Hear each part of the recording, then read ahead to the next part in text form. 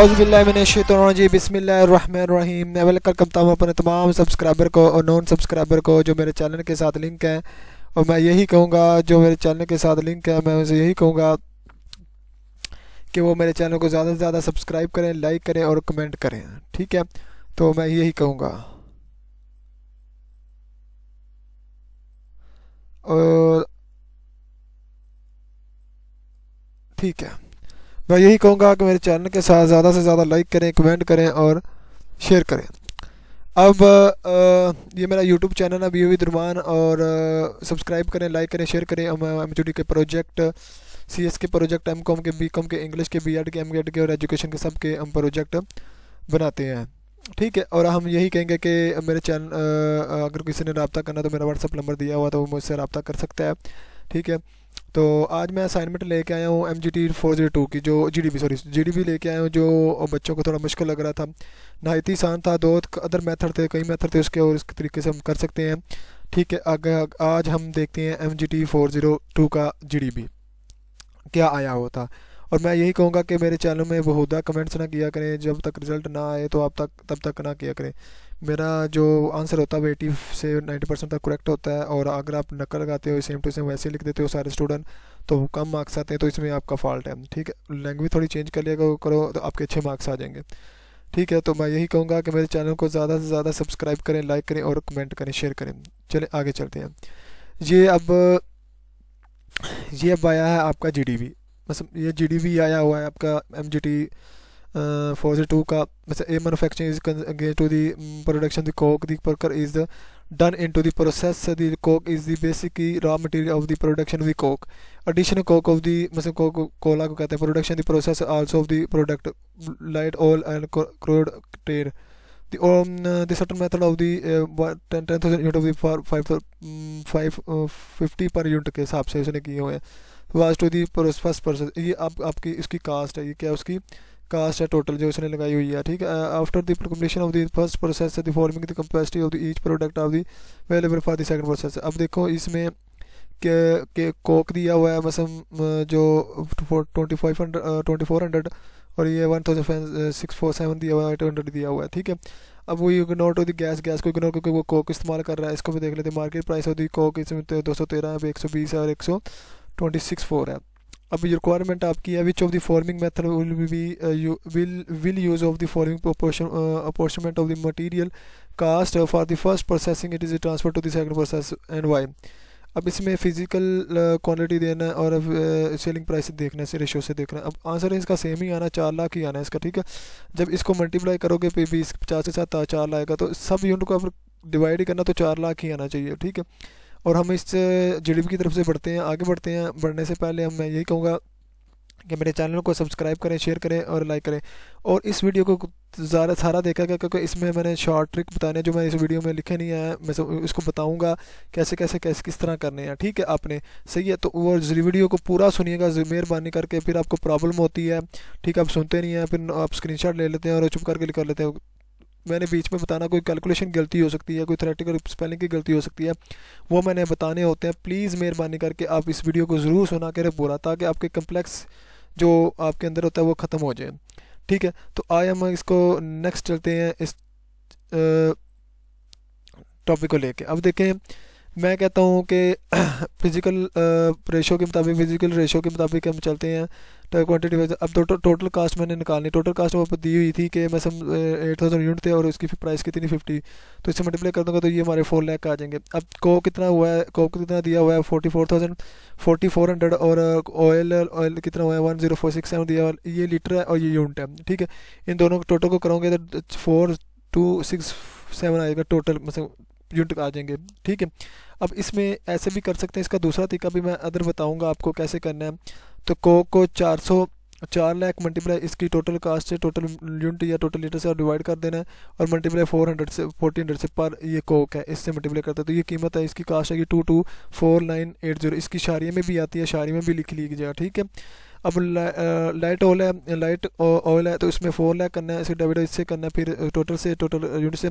तो four four two six seven multiply one zero six seven तो ये one zero six seven इससे करो तो इसकी कास्ट ये आ जाएगी one zero zero two three point four four ठीक है? क्रूड टार के मतलब होता है कि फोर लैख इसको डिवाइड फिर इससे करना और मल्टीप्लाई इसकी इसकी लीटर से कर देना ठीक है? तो ये इसकी कास्ट होगी। अब ये तीनों को कास्ट को टोटल करोगे तो फोर लाख के बराबर आ जाएगी। फोर लाख अपने नीचे लिखना है। पॉइंट में, पूरे पॉइंट लिखोगे तो फोर लाख आएगा पूरा तो अपने फोर लाख लिख देना अब इसका एक अदर मेथड है मतलब अब ये सोचने वाली बात है, ये दो चीज़ें लीटर की है। ये दो चीज़ें क्या है? ये दो चीज़ें क्या है? लीटर की हैं। ये दो चीज़ें क्या है? लीटर की हैं। अब ये यूनिट में है, ये क्या है? यूनिट में है। अब हम टोटल को भी कर सकते हैं और अलग अलग से भी कर सकते हैं। यूनिट को यूनिट में डिवाइड कर दो और लीटर को लीटर में डिवाइड कर दो, ठीक है?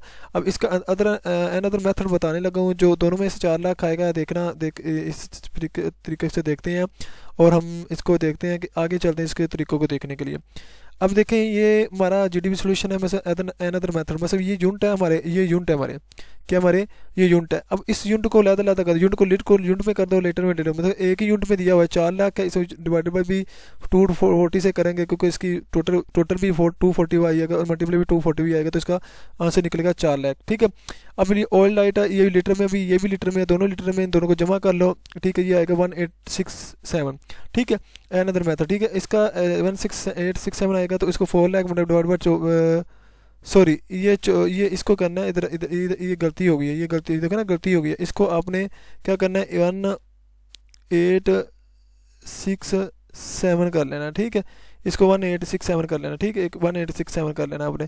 तो मल्टीप्लाई इससे कर देना one zero eight one zero six four six seven तो जो अमाउंट आएगी तो इधर लिख देनी है, ठीक है? अब ये कैलकुलेट आपने खुद करना है, ठीक है? अब इसमें डिवाइड किया वन एट सिक्स सेवन के साथ, ठीक है? मल्टीप्लाई एट हंड्रेड से कर देना लीटर के साथ। जो अमाउंट आएगी तो इसकी इधर लिख देनी है।